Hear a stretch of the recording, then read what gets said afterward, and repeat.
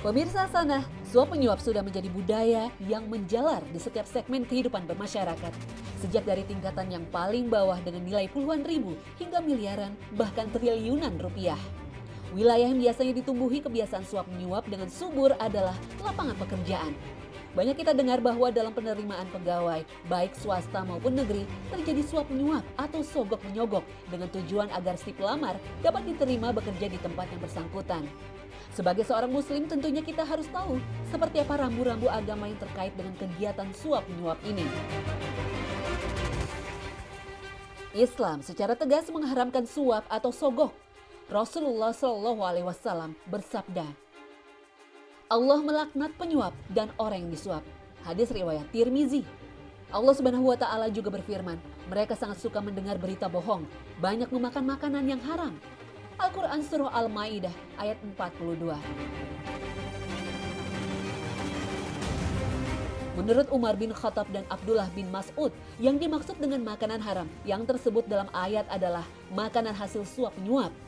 Kedua belah pihak, baik penyuap maupun penerima suap, telah dilaknat oleh Allah Subhanahu wa taala. Oleh karena itu hukum suap adalah haram. Jika demikian, bagaimana dengan orang yang melamar pekerjaan melakukan praktek suap? Saat diterima di pekerjaan itu, apakah gaji yang diterima itu dapat dikatakan halal? Bagaimana hukumnya? Apa yang harus dilakukan jikalau si pelamar telah terlanjur bekerja di tempat tersebut? Para ulama merinci masalah ini berdasarkan bentuk praktik yang terjadi di lapangan. Pemberi sejumlah uang saat melamar sebuah pekerjaan, baik negeri maupun swasta, dapat dibagi menjadi dua kelompok.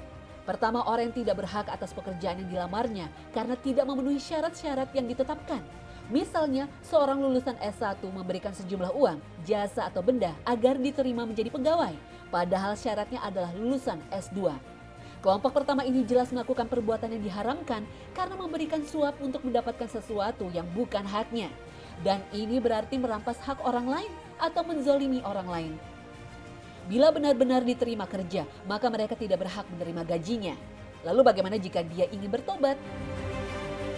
Jika yang bersangkutan ingin bertobat menurut sebuah fatwa dari fatwa tarjih, maka dia harus menyesali perbuatannya itu, berjanji tidak akan mengulanginya lagi, memohon ampun kepada Allah, lalu melepaskan jabatannya itu dan mencari pekerjaan lain yang memberinya upah atau gaji yang halal. Adapun orang yang sebenarnya berhak atas pekerjaan tersebut karena telah memenuhi syarat-syaratnya, namun masih harus diseleksi untuk menentukan siapa yang diterima kemudian memberikan sogokan agar bisa mengalahkan pesaing-pesaingnya sebelum keputusan penerimaan, maka dia juga telah melakukan perbuatan haram. Namun bila benar-benar diterima kerja, dia tetap berhak menerima gaji karena telah bekerja sesuai dengan syarat dan ketentuan yang berlaku, tetapi tetap berdosa karena cara masuknya menzalimi orang lain dengan menyuap.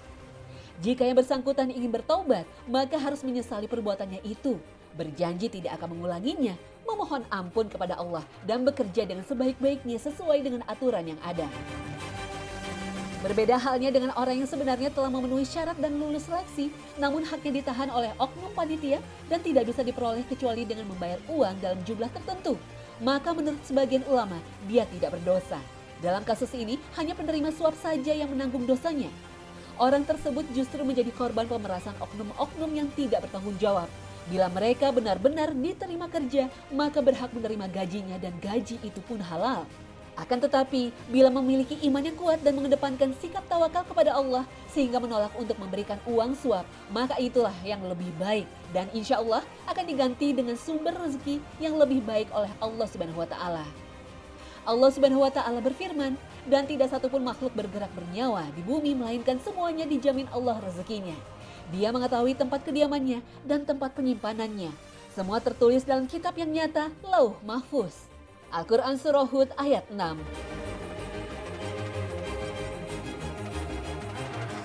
Ibnul Qayyim berkata, fokuskanlah pikiranmu untuk memikirkan apa pun yang diperintahkan Allah kepadamu. Jangan menyibukkannya dengan rezeki yang sudah dijamin untukmu. Karena rezeki dan ajal adalah dua hal yang sudah dijamin. Selama masih ada sisa ajal, rezeki pasti datang. Jika Allah dengan kebijaksanaannya hendak menutup salah satu jalan rezekimu, dia pasti dengan rahmatnya membuka jalan lain yang lebih bermanfaat. Wallahu alam.